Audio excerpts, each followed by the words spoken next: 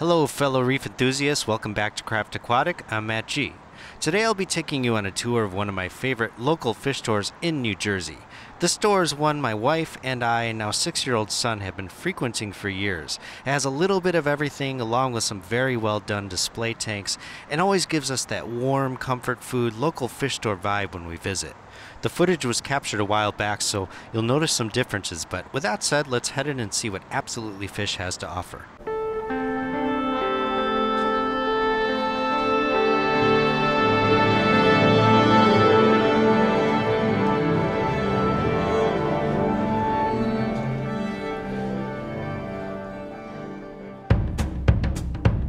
First thing you'll notice even before you enter the store is the beautiful art on the exterior walls and the emphasis on community participation, especially noticeable in these inspiring reef themed drawings and paintings.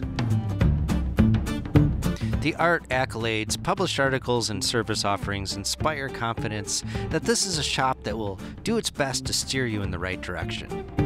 If you watch my channel often, you'll know that I'm a huge supporter of local fish stores that inspire new hobbyists to learn more about reef ecology and eventually set up a system of their own.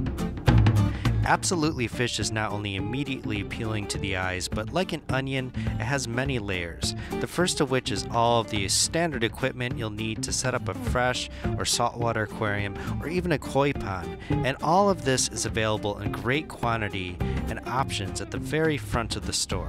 So if you are here to simply grab some fish food or supplemental products, you can be in and out quickly, though I'm pretty sure most people will choose to stick around for a bit.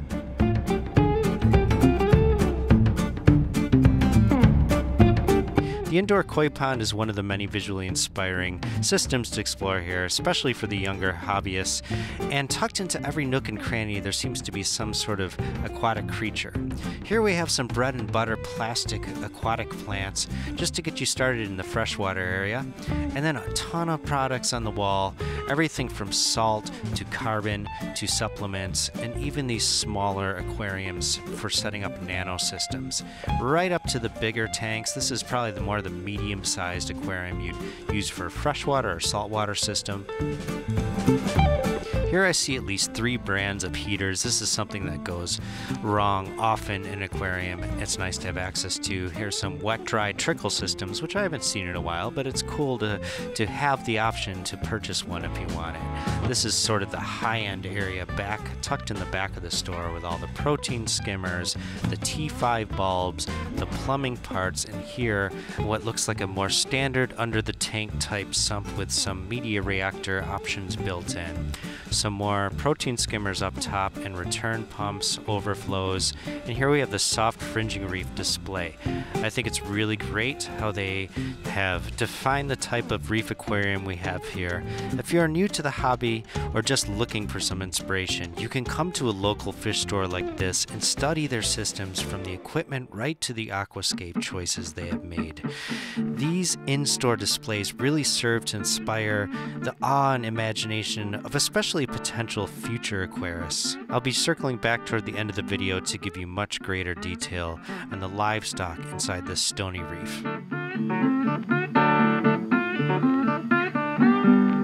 Moving on to the coral holding tanks at Absolutely Fish, there are a large variety of colonies, frags, invertebrates, anemones in every category from leathers and filter feeders to LPS and SPS. The coral placed in holding under low par with plenty of space between, especially the mid to large size colonies. Now, up toward the front of the coral holding tank section, there is a third display tank. Um, this is a small reef. I'm not exactly sure about the volume of this tank, but it's mostly leather coral. And on the bottom here, you can see they have some long tentacle and short tentacle plate coral. But look at the size of that leather colony right in the middle. These, some Nephthea right here, these are looking really nice, and I believe many of those are also for sale moving into this beautiful stony holding tank, some Favia, Trachyphyllia, Acan lords. Looks like some Lobo back left, Duncanopsammia, a hammer coral, beautiful Euphyllia in the middle there, some more Duncans, and moving down to the left here, you see this puffed up awesome giant Trachyphyllia, Fungia, a couple more tracks, and these master scolies, this black eye bowerbanki, it's huge, along with that beautiful blasto right in the back there. Moving right next door to the second stony holding tank, maybe not as colorful, but still jam-packed with coral, we have tons of Favia in here.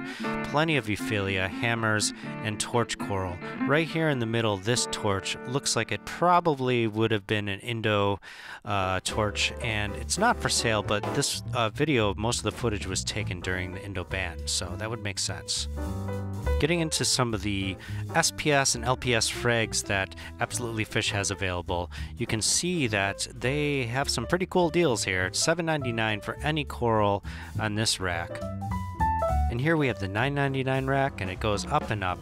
These guys actually have a grow out facility not too far from here, and they're able to grow these not too rare but still beautiful frags on plugs taken from mother colonies in their grow out facility and provide them to new hobbyists and established hobbyists looking to fill in gaps in their existing reef. It's easy to look at something like frags being available at a local fish stop and, and take that for granted these days. But it used to be that you could only buy very expensive full grown colonies at a fish store, and that really had to do largely with paying for a shop's overhead and all the other expenses that they have to manage. But shops have really come around in recent years, making these frags available to hobbyists so that they can grow their own colonies out from little pieces of coral. Here we get into the higher end frags. This is the tank on the end, and these are a lot of the name coral or things that are going to grow out into bigger, more beautiful, more colorful colonies in the end. And here we inch up a little bit in the value scale of these corals, some zoanthids, bowerbanki, mushrooms, cordia, things that are a little more expensive, but nothing that's going to break the bank. Of course, no local fish store called Absolutely Fish would be complete without their own fish only saltwater tank. Now, before moving on to these rows and rows of saltwater fish, I'm going to show you this little row of nano freshwater tanks really beautiful stuff. And here we have even like a wall of betta, so we have something for everybody. I'll show you that again. that was a jump cut. And here we go. We're just gonna jump right into the saltwater section with some nice damsels. Beautiful little display of damsels to get you started. And these funny little rabbit fish. I thought that was great. They're like fighting for that piece of seaweed. I love rabbit fish. I think they have a ton of personality personality. Again, rows and rows of options for fish here. I mean, this store is the one that I used to come to when I was looking for a particular fish. You can buy online, you can look online to see if other hobbyists have fish available they don't need anymore, but it's really nice to come to a local fish shop and handpick your fish. The freshwater section is pretty gigantic here. They have a ton of hardscape and gravel available, anything you'd need really to start a tank in abundance. And this little nano fish freshwater section, I do have a small freshwater tank at home, even though I'm primarily saltwater. I do like these little planted tanks. They are just tiny little worlds that are fascinating, much easier to care for than a full blown saltwater tank. And they just, in some ways, a little more relaxing to look at when you're having an issue with your reef tanks. So, plants, fish, any kind of fish you need available here. And this is their giant display, freshwater display tank. Right on the other side of their main display tank, the Stony tank. And then here again, I just wanted to show you these nanos because they are actually pretty nice and all available for sale. Panning down from this beautiful blue tiled archway, we see the two saltwater display tanks back to back, and we'll start in on this beautiful fringing reef. We have some GSP down here with a nice little jawfish who's made a cave inside for his home. Nephthea, zoanthids, palythoa, a lot of Phloenopthia. This stuff is beautiful in here. And then down at the bottom, we have this nice little cluster of palythoa. And underneath, you can see there are some rock anemones. And here, smartly placed on this little rock island, a bunch of xenia. This has the effect of a long tentacle plate coral sitting on some green button polyps, but it is in fact a torch. And up top, a long tentacle leather coral and those purple rhodactis mushrooms. A yellow leather coral and back to that deep green Nephthea. Lots of amazing fish in here. I could go on and on about the fish in here actually, but this purple sponge is something that captured my attention. I thought it was pretty neat. And of course, this cluster of pallies at the bottom here. Here we are back at the Stony display. Let's take a closer look. These giant hammer colonies on the bottom of the tank are pretty impressive. I like the one on top. It has the green tentacles and the purple tips. It's interesting to observe a mind trick colony grown out like this, especially how the polyps tend to bunch up toward the center. Nice red lobo there. And here we have a very stunning, especially in person, mint green Goniopora. I very much appreciate the types and variety of fish chosen for this display. No one fish is particularly large, and they all move around each other and in and out of the rock structure in a very natural way. I had the pleasure of speaking with Eric, who designed and maintains this impressive stony mixed reef. It sounds like it was quite a challenge to get it to where it is today. All the more reason to appreciate the effort that is required to produce such a wonderful in store display. And most of us SPS keepers will recognize this Milka-Stylo and Green Slimer right away. There's a Favia to the left, a Capricornis colony to the right. Down here we have a frog spawn and a chunky tentacle torch, both having a really nice time in the current. Two giant clams with scolies tucked right in there to the bottom right, a war coral to the left, and that beautiful green pink tip torch to the right there. Two Goniopora species here. We got a red and a green.